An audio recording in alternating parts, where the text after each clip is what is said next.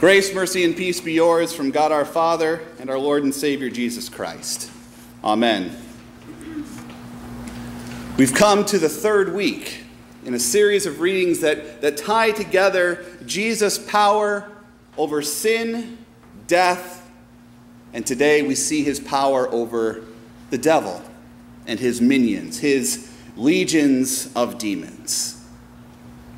In that first week, we saw Jesus' power over death as he met the funeral procession, procession coming out of the city of Nain. And he went and he touched the funeral procession, that coffin, and told the boy, Arise. Jesus has power over death. And last week, we saw Jesus' power over sin as a woman whose sins were many and who were obviously known to her came to her one solution, to her one Savior, Jesus Christ, came and spared nothing to show her gratitude for the forgiveness that was hers. She poured out expensive ointment on his feet, washed his feet with her tears, and dried them with her hair and kissed them clean. Yes, she rejoiced because Jesus has power over sin, and her sins, which were many, were forgiven her.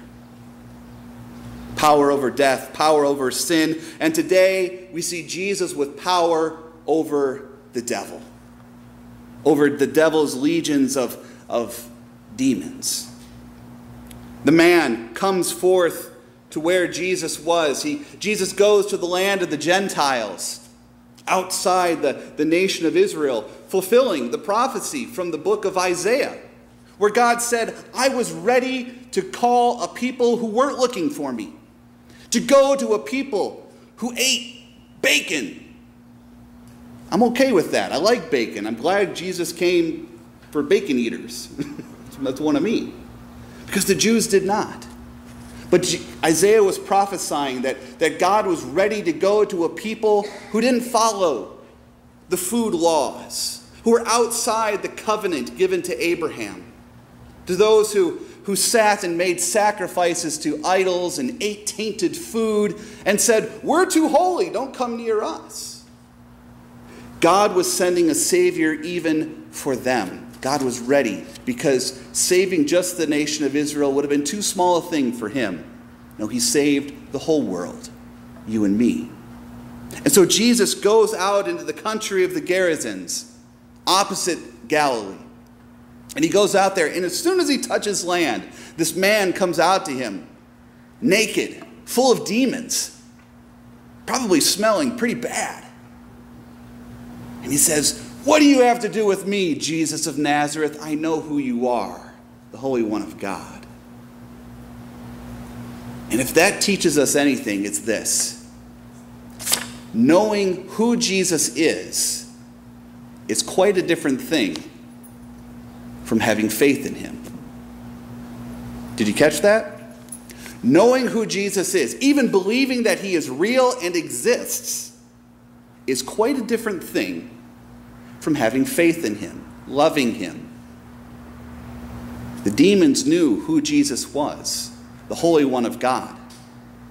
But they knew that his presence among them was not one of blessing and of salvation and of peace, but one which would bring them torment because their world would be coming undone. Their power over this man, that he could break the shackles of iron that caged him, was soon to be undone they would be cast into the abyss. Not simply by his word there on the seashore, but on the cross.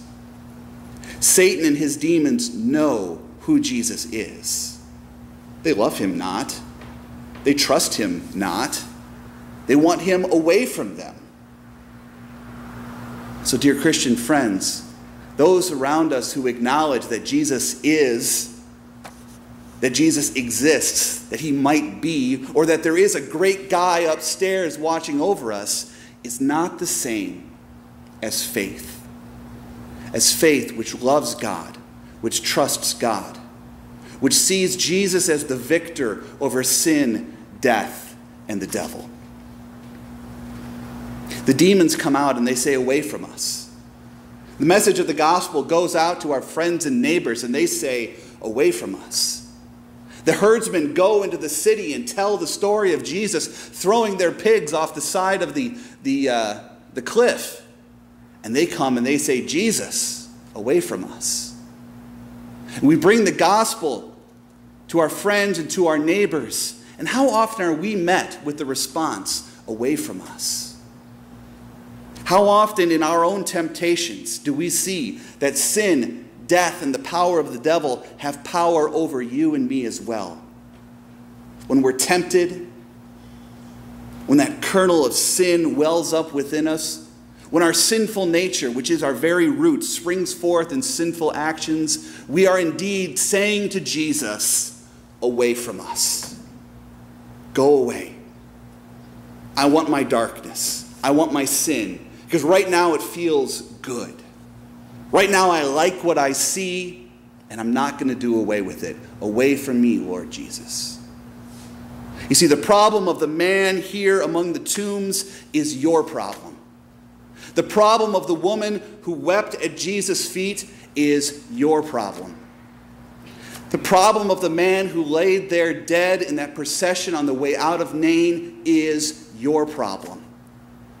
Because you are under the power of sin and death and of the devil. He will tempt you. You have a sinful nature. And we know because we are sinful, we will face death. Jesus comes to you. He comes to you with power over sin, death, and the devil. He has power over the enemies which perplex you which torments you, the skeletons in your closet, the demons which must be exorcised, the temptations that you have. Jesus here on the cross has come to set you free from those things with a word, with a word that brings peace, forgiveness. Forgiveness. The power to become the children of God. The blessings that come from calling out to Him, Abba, Father. You are children of the new covenant, children of Abraham by faith. Faith has made you well. Faith that trusts in Jesus as your Savior. Not just who knows who He is, but who fears, loves, and trusts in Him above all things. He has power over sin and death and the devil, and He gives that victory to you. And we're going to go a little out of order here this morning. Normally we do that catechism portion at the very end, but you know what? It fits right here. Grab your bulletin. Let's go to the back page. Because we just used the Apostles' Creed to confess our faith. And we said that second article Jesus Christ is only Son, our Lord. Well, let's read together now what we confess this to mean.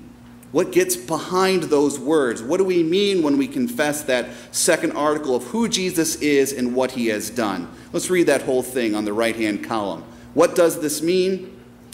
I believe that Jesus Christ, true God, begotten of the Father from all eternity, and also true man, born of the Virgin Mary, is my Lord, who has redeemed me, a lost and condemned person purchased and won me from all sins, from death, and from the power of the devil, not with gold or silver, but with his holy, precious blood, and with his innocent suffering and death, that I may be his own, and live under him in his kingdom, and serve him in everlasting righteousness, innocence, and blessedness. Just as he is risen from the dead, lives and reigns to all eternity. This is most certainly true. Did you see it in there? He has purchased and won me from all sins, from death, and the power of the devil. That's what we've seen over these past few weeks. And that's what you'll continue to see in every gospel reading. Every time you open the scriptures, you will see God's victory, God's power, God's control, and God's winning over sin death, and the devil, and how that is made yours. Because we confess that I am a lost and condemned person. We confess that this morning in our confession of sins. We know that each day as we rise, we confess that we are by sinful, by nature sinful and unclean. And so we acknowledge that the problem of the man at Nain, the woman at Jesus' feet, and this man with the demons and the Gerasenes is our problem. Sin, death, and the devil are not just the problem of, of, of the notoriously evil, the circumstantially unlucky, and the culturally uneducated. Those being under the sin, death, and the devil is our issue under the fact that we're human. And so Christ comes to us to set us free. As much as we beg Him, don't torment us, don't take these things from us. Let me keep my pet sins, my comfort zone, my various things that keep me at peace. Away from me, Lord Jesus. He comes to us, and with a word, casts out our demons. In a word, He forgives our sins, and He raises us from death to life, life everlasting. And this man, this man wants to be with Jesus, begged that he might be with him. Lord Jesus, where you are, I want to be. So he would be here this day with us, because Jesus is here among us this day, proclaiming his word to us and giving us forgiveness and life and salvation. And hear what Jesus says to him. He says, and this is our verse of the week Return to your home and declare how much God has done for you. And he went away, proclaiming throughout the whole city how much Jesus had done for him. Word had already reached the city about Jesus. Those herdsmen fled and saw what had happened, and they told, the, told it in the city and in the country. The message of Jesus is going to go out. So let that message of Jesus that goes out be from our lips, proclaiming how much he has done for us, how he has set us free from the power of Satan and from sin and from death. Because the culture around us, the world around us, even our sinful nature will proclaim a message of Jesus that doesn't point to the cross. So let's tell how much God has done for us in Christ Jesus. This week, the young people from our congregation, some of their relatives, some of their friends, their neighbors, are going to come here. And we're going to gather under the theme of Tell It on the Mountain. We love that hymn. You know, go tell it on the mountain, over the hills and everywhere. Right? Tell it on the mountain. You saw the, the mountain wall as you came in, the boulders sitting there and things. They're going to be learning by going to five different mountains throughout Scripture.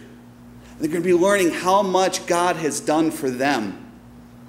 And you see what the response for how much God has done for you is? You can't keep it quiet. There's news to be told. There's good things God is doing for you as well. And see how much God has done for you this day. He has given you forgiveness and life and salvation. We don't just talk about that it happens or that it sort of exists or that it's out there somewhere for you to claim.